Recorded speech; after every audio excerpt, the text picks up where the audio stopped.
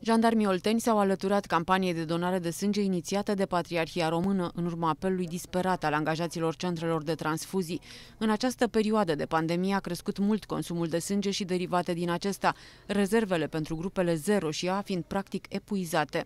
Este prima dată când donez sânge, am, încer- am înțeles că acest lucru are numeroase, nenumărate beneficii pentru viața noastră și în același timp putem salva o viață donând sânge. Sunt bucuros că am ales să fac acest lucru, nu am mai donat până acum, este prima dată și din câte am auzit, acest lucru are multe beneficii pentru viața noastră, sănătatea și încurajăm acest lucru sperând ca și alte persoane să facă același lucru. Ținem să încurajăm cu acest prilej cetățenii să vină și să, să dea o mână de ajutor pentru cei care au, au nevoie efectiv de sânge. Timp de două zile, efectivele Inspectoratului de Jandar Județean Olt au participat într-un număr de 26 de efective pentru donarea de sânge.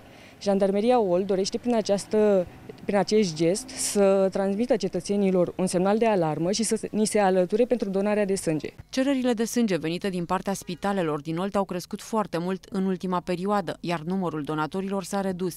Angajații Centrului de Transfuzie Sangvină Slatina fac apel la cetățeni să vină să doneze. Acum avem mai ales uh, nevoie de grupele 0 și A și sunt foarte bineveniți dânsii pentru că suntem într-un moment de aproape criză. Adică pe măsură ce vin, se și epuizează rezervele.